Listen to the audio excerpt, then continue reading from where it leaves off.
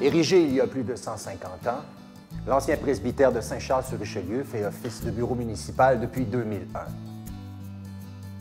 Le presbytère, du latin presbyterium, qui signifie la maison des prêtres, a été construit en 1865 sous la gouverne du curé Charles Saint-Georges au coût de 3200 livres.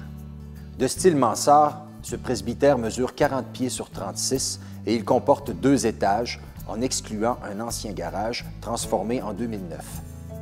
Les murs sont en briques et initialement, la couverture était en bardeaux. À l'origine, une galerie entourait toute la maison.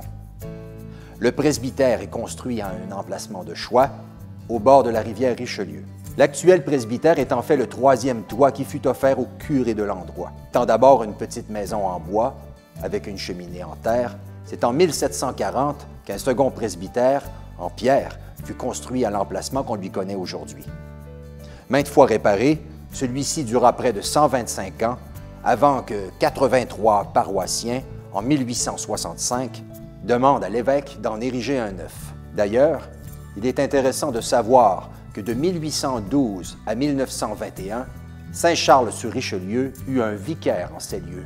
Le dernier prêtre à habiter le presbytère fut l'abbé Claude Paget. Il y vécut de 1988 à 1989. Par la suite, le presbytère fut loué à des résidents pour être ensuite acheté en 2001 par la municipalité. À l'époque, se trouvait à proximité du presbytère un hangar à grains. Le prêtre y recevait la dîme sous forme de denrées diverses.